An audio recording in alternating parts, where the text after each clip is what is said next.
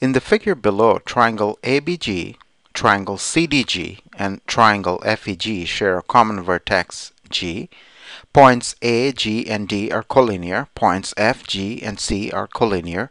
Points B, G, and E are collinear. Find the following sum. The sum of the measure of angle GAB, the measure of angle ABG, the measure of angle GCD, the measure of angle CDG, the measure of angle GEF, and the measure of angle EFG. In other words, the question wants us to find these sums. This angle plus this angle plus this angle plus this angle plus this angle plus this angle. And we know that line AGD FGC and BGC pass through the same point G. So that's our problem. I have the same picture, slightly enlarged, and I need to find the sum of the measures of the six angles A, right here, B, C, D, E, and F. How do we do that? Well, the sum of this angle plus this angle should equal this angle, y. If this is x, if this angle is x, this angle here should be 180 minus x, and the sum of these two angles should also be 180 minus x. Therefore, the sum of these two angles should equal this angle.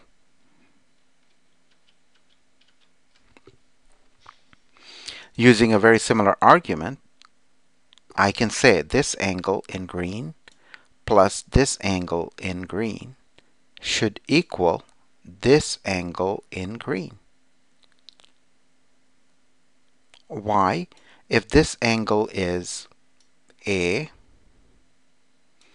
these two angles should add up to 180 minus a, and this angle alone should be 180 minus a, so they better be equal.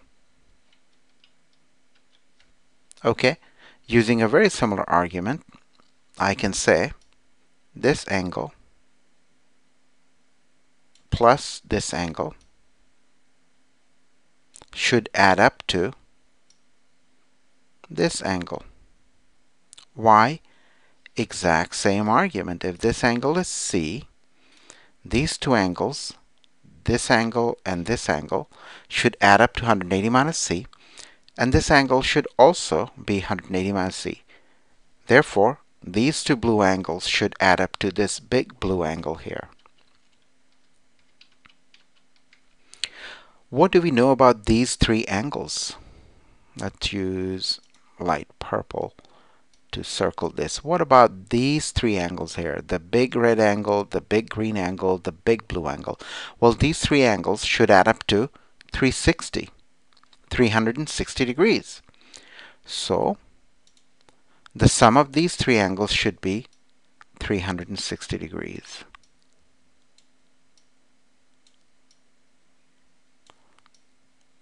Why? Because they are all around a point. Now, based on that, we can conclude these two red angles, this one, this one, plus these two green angles, this one and this one, plus these two blue angles, this one and this one, should also add up to 360. So that's the explanation why angle A plus angle B plus angle C plus angle D plus angle E plus angle F should equal 360.